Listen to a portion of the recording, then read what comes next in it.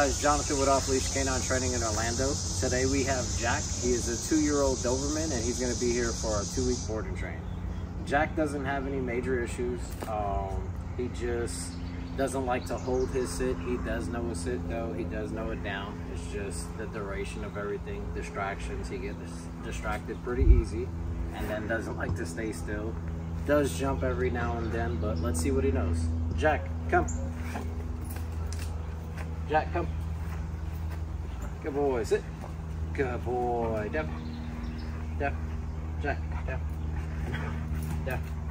Jack, down. Jack, please. Oh, good boy. Sit. Jack, down. Good boy. Oh, good job. Jack, come. Jack, come. Jack, come. Come.